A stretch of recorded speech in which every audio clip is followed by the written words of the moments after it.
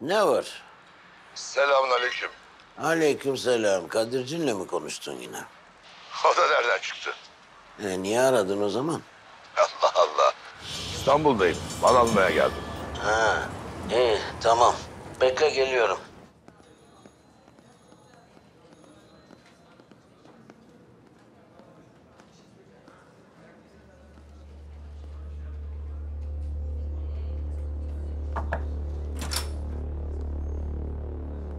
Oğlum madem buraya geliyorsun insan bir haber verir. Kaç gündür her yerde seni arıyoruz. Bir şeyim var abi. Haklısın. Ne desen haklısın ama Biliyorsun babamı be oğlum. Çok duydum abi ben bunları. Ne söyleyeceksen söyle gözünü seveyim işim var. vallahi bana istediğin kadar kız. Ama önce beni bir dinle. Sen o gün bu adam bizimle uğraşacak dedin ya. İşte o benim aklıma çok takıldı. O günden beri araştırıyorum. Çalışanlar, malışanlar. Babamızın oğlu değiller sonuçta. Biz yoktuk, onlar buradaydı. Biz iş almadık ki bunları. Kimdir, nedir bunlar? Şöyle geçmişlerini falan bir araştırdım. Temiz çıktı hepsi. Ee, Dur be oğlum anlatıyoruz. Sonra ben de bir evde dolanayım dedim. Bak sen bu adama ne kadar güvenmiyorsan ben de o kadar güvenmiyorum Kadir. Tam bir şey bulamadım derken... Bu sabah bizim bızdık elinde bunlarla çıkıp geldi.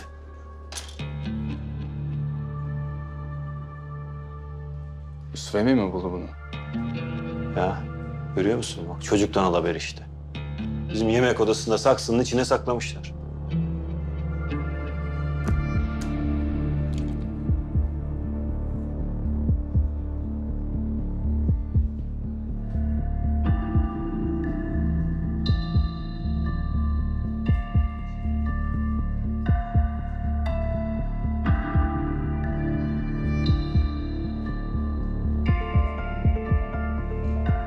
Başka kim biliyor bunu? Sen ben bir de Yusuf Emin. Ama şimdi Yusuf Emin'e sorsan görmedim ben der.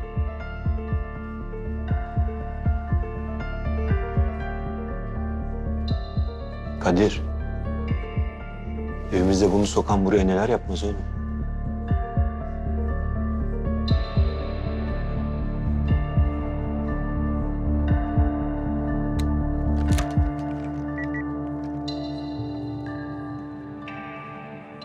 Burak Bey bir gelir misin?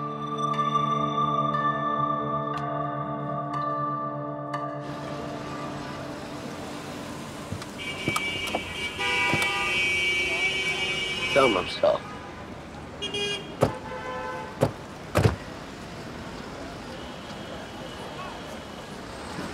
Ne yapıyorsunuz evladım? Beyefendi güvenliğiniz açısından. Hayır hayır hayır. Hayır ben kendim gideceğim. Yahu bir gidin. Sen arabayı park et, anahtarı da getir bana. Ben kendim döneceğim. Peki ben istemedikçe takip etmeyin beni. Peki. Arabaları.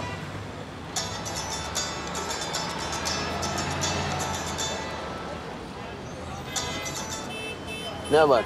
Efendim ilaçlarınızı hatırlatmak noktasında Tamam tamam tamam tamam kapat. Tamam. Bağlantılar arası arıza çıktı onu kontrol edecekler. Sen uydurursun kılıfını. Böyle tulumlu şapkalı falan olsun adamlar. Tamirci görüntüsü yani. Kimse anlamamalı. Bu binadaki her oda tek tek aranacak. Önce bizim odalar, sonra senin odan, sonra toplantı odası. Bilgi işleme haber vereyim mi? Hayır, sadece üçümüz bileceğiz. Ev sende. Çıtırtı duyuyorsun. Eski ev zaten. Fare olabilir. Eve de üniformalı birilerini gönder. Herhangi bir yerden herhangi bir kamera çıkarsa haberim olacak. O iş bende merak etme sen. Hadi.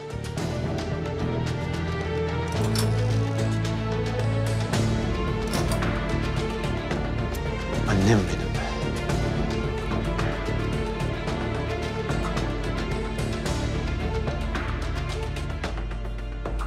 Bunu gerçekten yapmış olamaz mi? Kim? İlhan. Kesinlikle yapar. Bir an bile düşünmeden. Bu oyunun kurallarını o belirledi. Ya uyuyacaksın ya hep birlikte batacağız.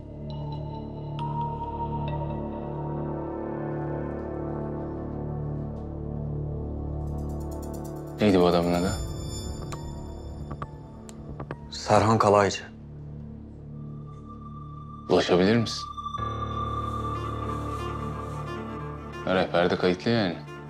E normal değil mi? Adam İlhan'ın CEO'suydu.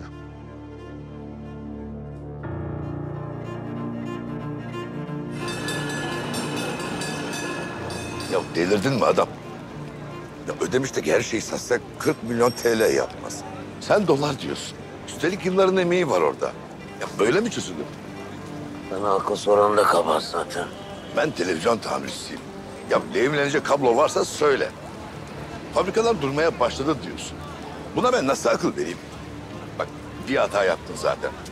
Üstüne bir hata daha yapma. Ha? Konuş oğlanla. O gereğini yapsın ha. Çöz. Sen çok biliyorsun. O önce oturduğu evde reis kim? Onu öğrenecek. Ne oldu gene? Beyimiz evi terk etti. Şımarık. Gene ne yaptın be adam? Ben bir şey yapmadım. Kesin yapmışsındır. Ya Emin, 70 yaşındasın sen. Alzheimer var. Ya sen demedin mi üç gün sonra adımı bile hatırlamayacağım diye? Eskisi gibi değilsin. Ya oğlanı niye gidip aldın ta ödemişten? Şimdi niye kovuyorsun be adam? Hı, çok biliyorsun sen. Sen de biliyorsun söylediğimin doğru olduğunu. 30 yaşında değilsin Emin. Dağlar lafla delinmez. Bilek gücüyle, bilgi gücüyle delinir. Sende zaten ikisi de yok. Kadir de fazilet de sen de çok biliyorsunuz. Hadi eyvallah.